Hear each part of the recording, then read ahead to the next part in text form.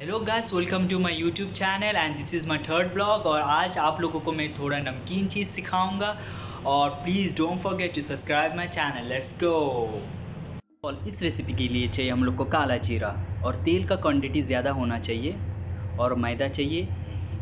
तीन किलो मैदा दे रहे हम लोग। तीन किलो मैदा से निमकी बनेगा 250 या 300 निमकी बनेगा। फिर हम लोग डालेंगे नमक और बिना पानी में के बगैर हम इसको मिक्स करेंगे अच्छे तरफ़ से। अच्छे तरफ़ से मिक्स करना होगा पानी का बगैर। फिर हम लोग पानी डालेंगे और जब भी पानी चाहिए थोड़ा थोड़ा पानी ऐड करेंगे। इस आटे परोठा का आटा का तरह होना चाहिए। देखिए, अच्छे तरफ़ से मिक्स करना होगा।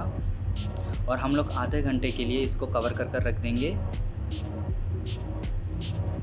फिर हम लोग छोटा छोटा कर कर आटे का गोला लेना चाहिए।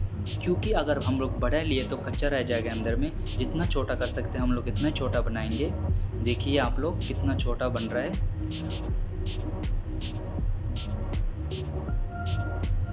देखिए आप लोग। फिर हम लोग कॉर्नफ्लावर लेंगे। इस रेसिपी के लिए कॉर्नफ्लावर मस्ट हम लोग कॉर्नफ्लावर चाहिए और मैदा चाहिए। मैदा और कॉर्नफ्लावर हम लोग एक साथ मिक्स करेंगे आधा आधा कर कर। देखिए। दोनों को एक साथ अच्छा तरफ़ से मिक्स करना चाहिए। इस रेसिपी के लिए कॉर्नफ्लावर हम लोग को चाहिए। कॉर्नफ्लावर का बगैर रेसिपी नहीं होगा। फिर हम लोग थोड़ा मैदा डालेंगे।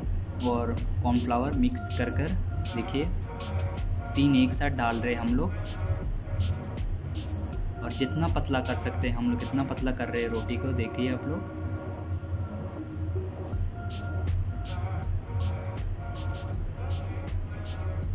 आप लोग को जितना पतला कर सकते हैं आप करिए, क्योंकि जितना पतला करेंगे, इतना सॉफ्ट होगा और इतना डिलीशियस भी होगा।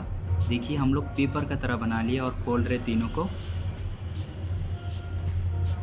और हम खोल कर जो मिक्स बनाए हम लोग मैदा और कॉर्नफ्लावर से, देखिए, अच्छे तरफ़ से फोल्ड करके उसको टाइट करना चाहिए। फिर हम तेल में डालेंगे। तेल को गर्म कर कर डाल देंगे। देखिए आप लोग। और देख सकते हैं गोल्डन कलर आ गया।